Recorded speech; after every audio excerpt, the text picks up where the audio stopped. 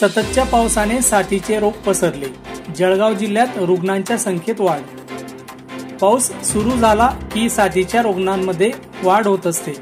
जळगाव जिल्ह्यात देखील साथीच्या रुग्णांमध्ये वाढ झाली असून जळगाव जिल्ह्यात सध्या डोळे येण्याची साथ मोठ्या प्रमाणावर दिसत आहे. लहान बालकांपासून युवक वयोवृद्धांपर्यंत ही साथ आहे. चोपड्यात देखील मोठ्या प्रमाणात या साथीचा परिणाम दिसून येत आहे. नगर परिषदेचे दवाखाने व उपजिल्हा रुग्णालयात रोजचे रुग्ण तपासणीसाठी मोठ्या प्रमाणावर येत आहेत. या डोळ्यांच्या रुग्णांमध्ये शालेय विद्यार्थ्यांचे मोठ्या प्रमाणावर संख्या दिसून येत आहे. डोळे येणे हा संसर्गजन्य आजार असल्याने तो सगळीकडे पसरत आहे. डॉक्टरांचे उपचार घेऊन काळजी घेतली आणि तज्ज्ञ डॉक्टरांचे मार्गदर्शनाखाली उपचार घेतले तर हा आजार लवकर बरा होतो. त्यासाठी डोळे आलेल्या रुग्णांनी डॉक्टरांच्या सल्ल्याने उपचार घ्यावे असे आवाहन उपजिल्हा रुग्णालयाचे अधीक्षक डॉक्टर सुरेश पाटील यांनी केले आहे.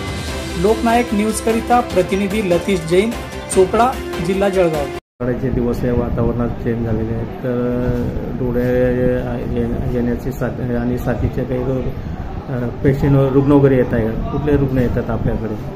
सध्याच्या पावसाळ्याच्या काळामध्ये आमच्याकडे डोळ्यांचे होणारे आजार यांचे पेशंट जरा जास्त प्रमाणात येत आहे साधारणतः दिवसाला तीस ते पन्नासपर्यंत पेशंट येत आहे आणि विशेष करून शाळकरी मुलांमध्ये हे प्रमाण आहे.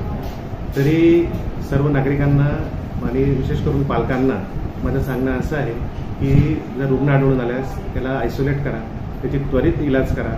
तसेच गर्दीची ठिकाणं वगैरे टाळा. आणि हा आजार एक अत्यंत संसर्गजन्य असल्यामुळे त्यांनी पूर्णपणे काळजी घेतली पाहिजे. तसेच या आजाराची ट्रीटमेंट व्यवस्थित होते. दादा यासाठी का जे स्टेटमेंट घरच्या घरी घेत आहे जर काही पाल पालक ते यांना काय आपण आव्हान करणार? शक्यतो घरच्या घरी ट्रीटमेंट घेऊ नये. आपल्याकडे विशेषज्ञ आहे डोळ्यांचे डॉक्टर आहेत. किंवा कुठलेही जे डोळ्यांचे डॉक्टर आहेत त्यांना दाखवा. त्याच्यावर व्यवस्थित इलाज उपलब्ध आहे. आणि इलाज चालू असताना किंवा तुम्हाला जर रुग्ण आढळून आला तर पालकांनी शाळेत पाठवू नये आयसोलेट करून ठेवावे. तसेच गरजेच्या ठिकाणी जाणं टाळावं. आणि सकस आहार घेणं हे पण महत्त्वाचं आहे. दादा हे जे डोळ्यांचे आजार याच्यात काही वयो मर्यादा आहे का? काय म्हणजे सर्व जे लहान मुलांपासून तर वयोवृद्धपर्यंत सगळ्यांना सर्व वयोगटामध्ये आजाराची आजाराचा प्रसार होतो पण लहान मुलांना जास्त